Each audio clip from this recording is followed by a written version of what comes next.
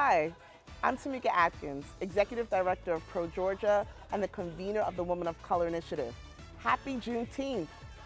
As we honor the legacy of this day, we also commemorate the contributions of enslaved black Americans to our country.